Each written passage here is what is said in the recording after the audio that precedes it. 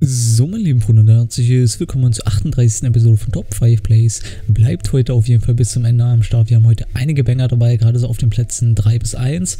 Und äh, ja, ich würde sagen, wir sehen uns nach dem Intro wieder. Bis gleich.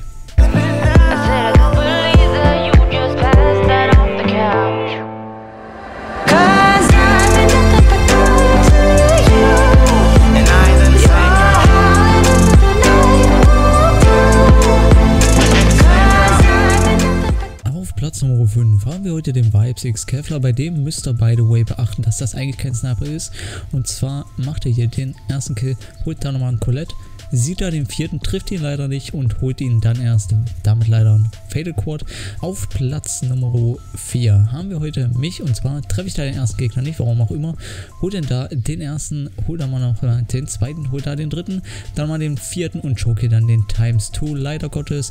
Deswegen nur Platz 4 diese Woche. Auf Platz Nummer 3 haben wir heute Tatix und zwar ist er hier auf VMD unterwegs mit der Paladin, holt da mal direkt den ersten, weiß nicht wo der zweite hingegangen ist und sieht ihn dann doch da oben, holt ihn, holt da den dritten in diesem Clip und holt da mal den vierten, lädt die fix nach, holt da den fünften und den sechsten mit dem Collateral, holt da den siebten, da nochmal den achten und da hinten nochmal den neunten, dann nochmal den zehnten.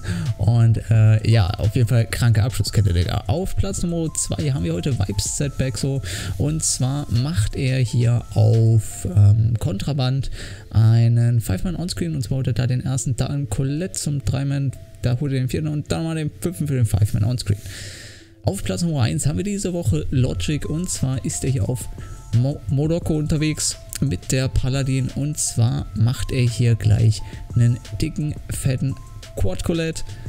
Und äh, ja, ich würde sagen, verdienter Platz 1 der Woche, choked hier dann noch den 5-Man Onscreen, aber trotz dessen übelst nasser Clip und verdienter Platz 1 diese Woche. Wenn ihr auch Teil von Top 5 Plays sein wollt, dann schickt uns doch einfach Clips, die ihr ungelistet hochgeladen habt, per Twitter als DM.